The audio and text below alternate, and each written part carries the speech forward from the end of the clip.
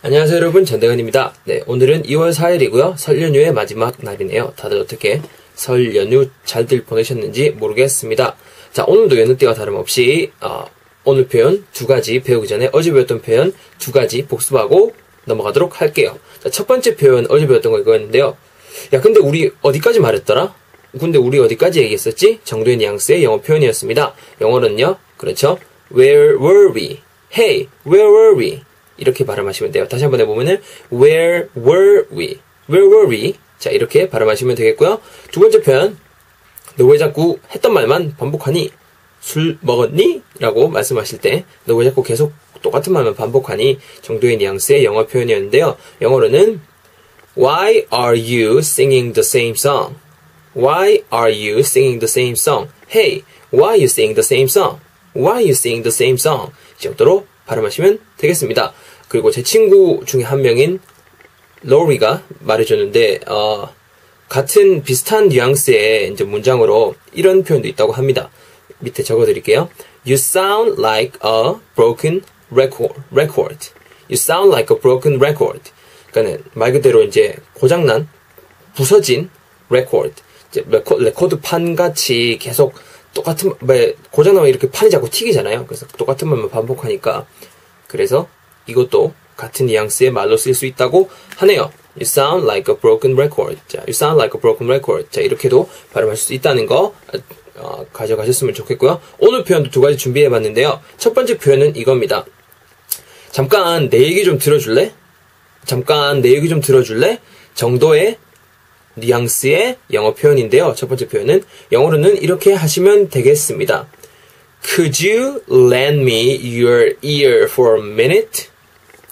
Could you lend me your ear for a minute? 자, 정리하면요.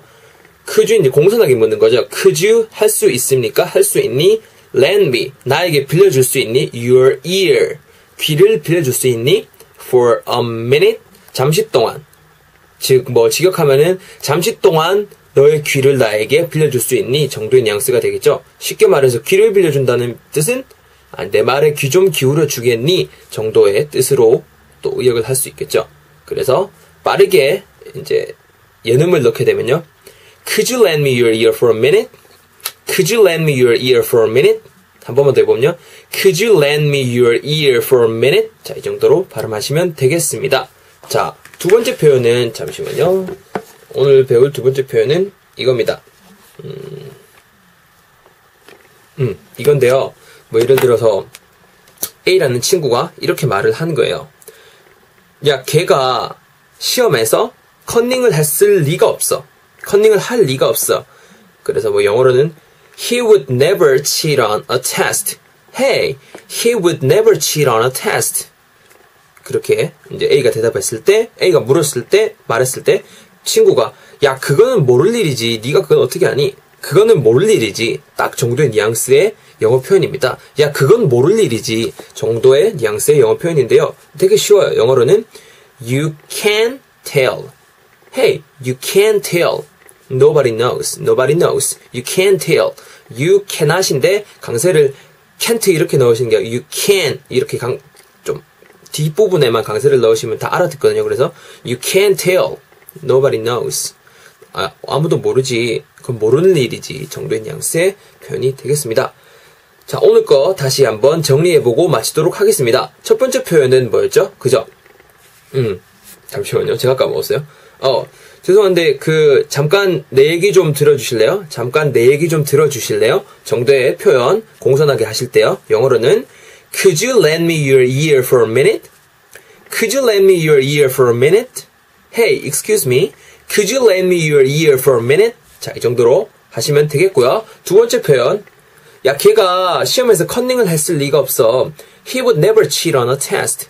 He would never cheat on a test. 그러니까 딱 우리가 그때 할 수 있는 말. 그건 모를 일이지. 네가 걔를 어떻게 아니? 그건 모를 일이지. 영어로는요. 그렇죠?